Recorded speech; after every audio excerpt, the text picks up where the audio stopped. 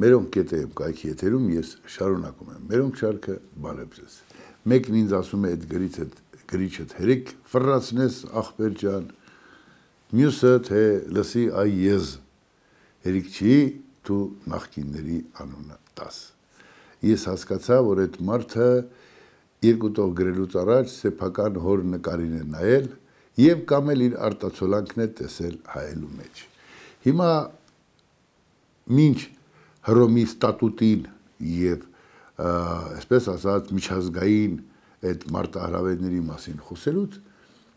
հիշենք ինչ կլիներ եթե Քոչարյան Ռոբերտն ու Սերժիկ Սարգսյանը մեր երկիրը չթալանեին եթե Քոչարյան Ռոբերտը իր Սեդրակիկի եւ Լևոնիկի համար միլիոնավոր 100 միլիոնավոր դոլարներ չգողանար երկրից մեր բանակը սահմանին ամուր կլիներ։ Եթե Սերժիկ Սարգսյանի փեսա միշիկը Ալֆոնսո Չխաղար, Սերժիկի աղջկա հետ չամուսնանար եւ տասնյակներով սրճարաններ ու հերոստանգերություններ չբացեր ու չթալաներ, մեր բանակը ավելի ամուր կլիներ։ Եթե զինվորի ունեցածը չլափեին մեր գեներալները, մեր բանակը ամուր կլիներ։ Եվ այս դեպքում, երբ Ադրբեջանը հարցակվեր մեր վրա, մենք կիմանայինք ինչ եւ ինչով ենք պատասխան տալիս։ Դեռևս քարորիա պատերազմի ժամանակ մի տեսանելիության սարք չկար ամբողջ Արցախի առաջնագծով մեկ։ Ես մեկ անգամ ասել եմ իմ ընկերները գնեցին շուրջ կես միլիոն դոլարի բերեցին տեսանելիության սարք հասցրեցին, սարքեր որբիսի մեր զինվորները տեսնեն։ Մինչ այդ եւ դրանից հետո էլ դեռևս պարսատիկներով լույս, այսպես ասած, վառվող խաղալիքներ էին կրակում չեզոք գոտողությամբ, որ տեսնեն ով մարդ չի երևում։ Հիշեցնեմ հերթական անգամ նախագահի կինը կամ բարձր պաշտոնյայի կինը զորամասի հրամանատար էր նշանակել տալիս։ Երբ 44 օրյան սկսվեց, այսպես ասած, կամբաթը ասում էր ահպե ես 10000 դոլար եմ դրել կամբատ աշխատեմ, չեմ ուզում, ես գնում եմ տուն, թողեք գնամ, ես ապրել եմ ուզում, մեռնել չեմ ուզում։ Այս չէր ձեր ստեղծած բարքերը, որ այսօր մի բան էլ նեղանում եք, որ այդ ապրանքներին ես հիշատակում եմ։ Այ ես եւ ձեր նման եզեր, ովքեր անանուն գրում են, ես նախկինների մարմաճը չունեմ։ Ես բոլոր այդ եզերի մասին եմ ուզում ասեմ եւ ասում եմ ու հիշեցնում, որ այդ թերմացքները մեզ բերեցին, հասցրեցին այս վիճակին։ Եվ եթե այդ եզերը ձեր նման եւ ձեր հայրերի նման չլինեին, երկիրը սիրեին, եզավարի ոտատակ չտային, իրենց սմբակների տակ չտրորեին, մեր երկրի ունեցվածքը, մեր զոհվածների, մեր պատերազմ անցած մարդկանց հիշատակը վար պահեին, մենք եթե անգամ պարտվեինք, պարտությունը այդ աստիճան չեր լինի։ Որքան էլ միջազգային հանրությունը աշխարհը SN-ը լրեց, մենք կկարողանայինք դիմակայել այն աստիճան, որ Ալիևի պես խամաճիկը այդպես չեր հոխորտա մինչ օրս։ Այ այդպես եւ այդ երկրի նախկին իշխանավոր եզերի պատճառով է, որ մենք ընկանք այս օրվան անգամ եթե Նիկոլ Փաշինյանից ձեր նման եզերը դժգոհ են կամ մեր նման մարդիկ դժգոհ են, ելի Նիկոլ Փաշինյանի լինելիությունը նախկինների ստորության արդյունքն է։ Իրենք այնքան ստոր էին, որ մեր համար միևնույնն էր։ Ավելին ասեմ, Ռաֆի Հովանիսյանը ինք ընտրում Հիմա որ մեկը տեկես լույսի ներքո ընդունում որ Ռաֆի Հովանիսյանը կարող է լինել Հայաստանի Հանրապետության նախագահ։ Ոչ, բայց այ այն թափթփուկ թերմասները ովքեր տրորում էին սմբակների տակ հայոց բանակի ու պետականության ունեցվածքը եւ բադեն-բադեններում դեղին ներքնազգեստերով լողանում ու հարյուրավոր միլիոն դոլարներ կրվում, այ նրանցից ազատվելու ճանապարհին անգամ Ռաֆի Հովանիսյանը այսպես ասած ընդունելի էր։ Ահա թե ինչու ես երբեմն երբեմն կամ շատ հաճախակի սրտի ցավով հիշում եմ այն ապրանքներին, ովքեր ապականեցին մեր ձերկբերումները։ Դրա համար, քանի այդ ապրանքները օրենքով պատասխան չեն տվել, ես պիտի խոսեմ հարգելի ես ճակերտավոր մյուս անգամ հորդ նկարին մի նայիր, երբ խոսում ես ինչ որ մեկի հետ, որ բերանից այդ ես բառը դուրս թրջի։ Սա իգիծություն։ Հիմա վերջերս ես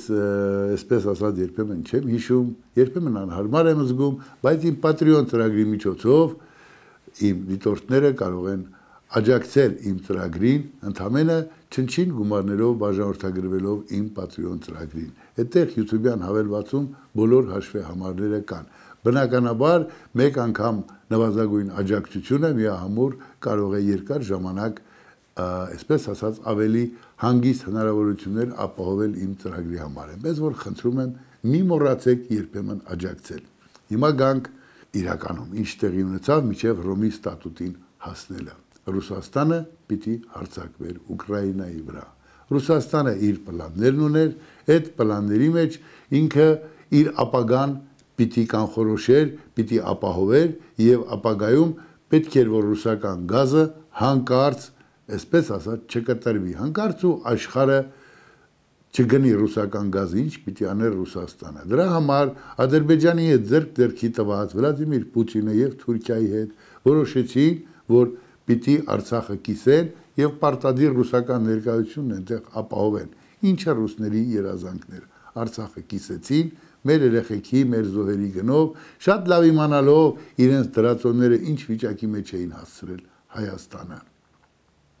Եվ նոր այսպես ասած իր պատերազմը սկսեց Ռուսաստանը Ուկրաինայի հետ։ Սակայն, ինչպես ասում են, շփաթ նուրբացից շուտ եկավ ռուսական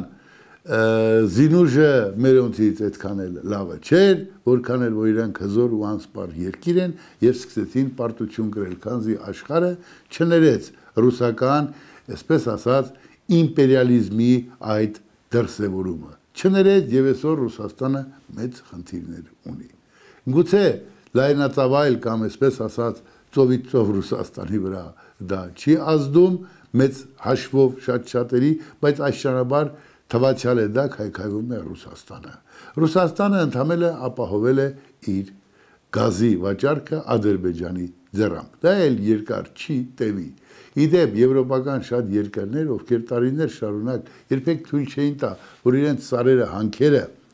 այսպես ասած շահագործեն, սկսեցին շահագործել, որպիսի կախվածություն չունենան ռուսական էսից ենից։ Հիմի Ադրբեջանը առայժմ հոխորտում է։ Իդեպ հոխորտում են Ադրբեջանի հետ համահունչ նաև մեր ընդդիմադիրները։ Եվ երբ սեպտեմբերին Ադրբեջանը հերթական հարցակումը կազմակերպեց, այդտեղ ռուսական հետքը եւս կար։ Պետք էր Հայաստանին ավելի ճզմել եւ ամերիկյան միջամտությունը կանգնեցրեց այդ պատերազմը։ Ալիևը հասկացավ, որ ինքը չափնացել է, որքան է ռուս պապան, այսպես ասում է, դու գնա ու կոտորի։ Ահա մեր դառն իրականությունը, որ ունենք։ Հիմա Հռոմի ստատուտի մասին եմ ուզում պատմական ակնարկ անել։ Նախ ներողություն եմ խնդրում նախորդ անգամ ստատուս ասացի։ Ուրեմն հուլիսի 17-ին 1998 թվականին Հայաստանը որոշում ընդունեց վավերացնել Հռոմի ստատուտը միջազգային պայմանագիր է Հռոմի ստատուտը, որով հիմնվել է միջազգային քրեական դատարանը եւ որի որոշումները պարտադիր են լինում այդ ստատուտը վավերացնող եւ ընդունող երկրների համար։ Ահա այսքանը։ Սա Հռոմի ստատուտի վերաբերյալ։ Հիմի ուրեմն ընդունեց որոշում, բայց չվավերացվեց մեր սահմանադրությամբ եւ ազգային ժողովով։ Դերևս ազգային ժողովով այս վերջի որոշումն էլ, երբ որ կառավարությունը 22 թվականի դեկտեմբերի 29-ին որոշում ընդունեց Հայաստանի կառավարությունը ստատուտի ընդունման վերաբերյալ սահմանադրական դատարանը դեռ չէր վավերացրել եւ վավերացումից հետո հիմա դեռ ազգային ժողովը դեռ չի վավերացրել։ Ինչ է դա։ Այո, քրեական հանցագործներին, որ ընդունում է, այսպես ասած, բարձր ատյանը, որևէ երկիր ով ընդունել է համաձայն է այդ քրեական հանցագործների քրեական արարքի հետ պարտավոր է արտահանձնել դատարանին նրանք պաշտոնապես հանցագործներ են եւ հետա խուզվողներ ահա այստեղ հանկարծ շատ լավ իմանալով իրավաբանորեն թե ինչ է կատարվում, ռուսները եւ Հայաստանի ընդդիմությունը սկսեց ցեղ շպրտել օրվա իշխանության հասցեին։ Հիմա ինչ է կատարվում։ Մենք ավելի վաղ ենք գործընթացի մեջ, բայց մենք դեռ չենք վերջնական վավերացրել։ Իսկ դա նշանակում է Պուտինի քրեական հանցագործ որպես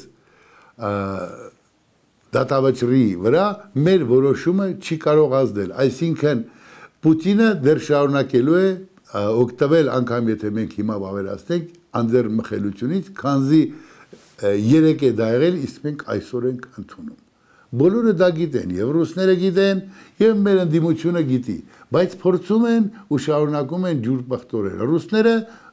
մի པարս պատճառ ունեն, ասում են դուք մեր ստրուկն եք, ով եք է դուքում շունն եք։ Քանի որ այդ շները իր համար նախկին իշխանավորների տեսքով վազվզում էին իրենց ոտերի տակ։ Այսօր Հայաստանը փորձում է իրական ինքնուրույնություն ձեռք բերել։ Լավ իմանալով, որ դա չի ազդելու եւ Վլադիմիր Պուտինը կլինի թե ով, եթե երեք են նրան քրեական հանցագործ հայտարել կամ հետախուզում հայտարել, այսօր Հայաստանը չի ձերբակալելու, չի տարածվում, անկամ եթե այսօր մենք վավերացնենք դա, այդ հետադարձ ուժ չունի։ Ահա այսպիսի մի պատմություն, բայց պիտի գործող իշխանության հասցեին ցեխ շպրտել։ Գործող իշխանությունն իմ աչքի լույսը չի, բայց այստեղ է ցեխը դիտմամբ են շպրտում, քանզի ռուսներին ինչ պետք էր Հայաստանից փոխել են, հիմա պետք է իշխանություն փոխեն։ Հիմա պետք է բերեն են թերմասներին, ովքեր մեր երկիրը այն եզերի ձեռամբ հասցրեցին այս վիճակին։ Դրա համար հայտնի ռուս գործարարներ, չգիտեմ, Սամվել Կարապետյանը, Տաշիր Սամոն, այն մեկը կար հայերեն խոսել, չգիտի, Ալա Աբրահամյանը, ինչ է Արա Աբրահամյանը, նա էլ այնտեղից է հոխորտում մեր դարավոր բարեկամությունը, բայց դարավոր բարեկամությունը որ կար, այդ ինչու չէիք Պուտինի համապատասխան տեղերի հետ խաղալուց ժամանակ մի քիչ ձգում ասում, այդ ահես ինչ ես անում մեր երկրին։ Այդ չէ կարել, որտեվ դուք տղա չեք։ Հիմա այդ ոնց եք որոշել, որ տղա եք դարել եւ հայ-ռուսական դարավոր բարեկամության համար էլ մտահոգ եք։ Հայաստանի Հանրապետության իշխանությունը այսօր ապահովում է այդ դարավոր բարեկամությունը, ընդհանրեն ասում է չափը ճարանչի սա իմն է ու լավ է անում։ Ձեր նման հետևամուտ չի անում։ Ձեր նախորդների նման հետևամուտ չի անում եւ դա շատ կարեւոր է։ Այստեղ մի խումբ իրենց պաշտոնին, իրենց կոչումին ոչ արժանի արարածներ կան, կոչվում է ԱԱՑ սպանների, վետերանների, չգիտեմ ինչ միություն, դու դուք ինչ ԱԱՑ, դու դուք ինչ կապ ունեք ազգային անվտանգության հետ, այ մեջ ուտող կողք մանեկող արարածներ։ Ձեր ամբողջ կյանքում լրեցիք, երբ Հայաստանը կեղծիքների, ստի ու խապեբավության մեջ, այսպես ասած, էփում էր։ Երբ իշխանության բարեկամները նարկոտիկներ էին վաճառում երկրում, ԱԱՑ սպան ինքն է խոստովանել, երբ դիմում էր գրում, ասաց հասկանում ես գիշերը բռնել եմ, բերել եմ առավոտյան եկել եմ, որ քննություն անեմ,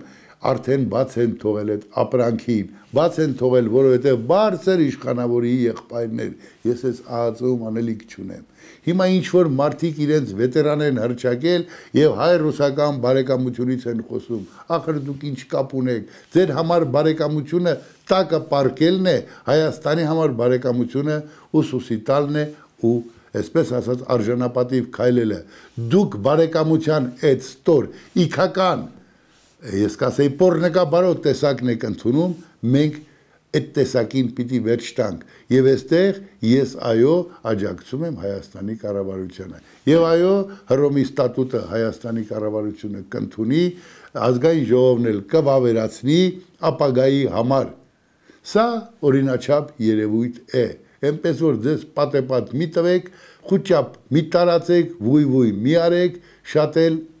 լավ են անելու Էդ էլ իր հերթին եւս մի հարց. Տեսակ են որ Սերժի Վաչոին երկու օր առաջ ինչ էր խոսում Սերժի Վաչոն կներեք աթարը լավ բան է թրիկահոտը վրայից եկող տկլոր շորերով միլիարդավոր դոլարներ էր հանում իր երեքն ու այսօրը մոռացել է 16 անշարժ գույք գրողը տանի Երևանում ապրող Երևանցին այստեղ միայն որ ասма